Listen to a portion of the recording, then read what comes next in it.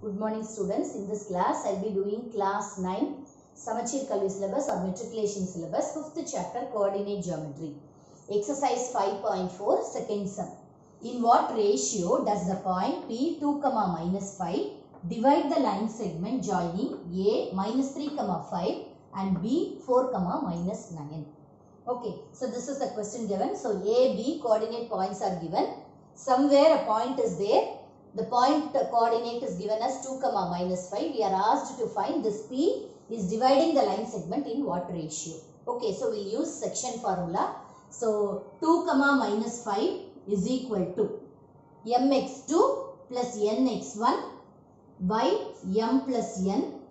Same way my2 plus ny1 by m plus n. Okay, so we'll substitute the values of x2 and x1 and x2, y1 and y2 and equate it with 2 comma minus 5.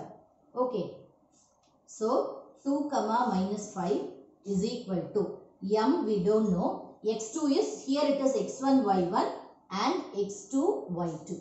So m into x2 is 4 plus n into x1 is minus 3 divided by m plus n comma m into y2 is minus 9 plus n into y1 is 5 divided by m plus n.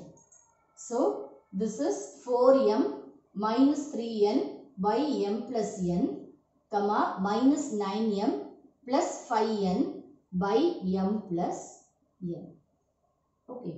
So, 2 comma minus 5. So, now we will equate this 2 with this x coordinate 4m minus 3n by m plus n is equal to 2 and minus 9m plus 5n by m plus n is equal to minus 5. Okay, so now we'll simplify this. So 4m minus 3n is equal to 2m plus 2n. Okay, so this one will be 4m minus 2n. 2m is equal to 2n plus 5n. So 3 plus 2, sorry, this 3 will come plus 3n. So this is 2m is equal to 5n. So when we are rewriting this, we get m by n.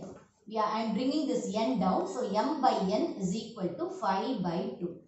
So if I simplify this also, the same thing only, we'll get the ratio as 5 is to 2. So that also will change. So minus 9m plus 5n is equal to minus 5m minus 5n. So minus 9m plus 5m is equal to minus 5n minus 5n. Here it is plus. So it will be, so minus 9m. So when we simplify this, here we get minus 4m is equal to minus 10n. So minus will get cancelled. So m by n is equal to 10 by 4 that is equal to 5 by 2. So the same ratio only. So if we find 1 it is enough.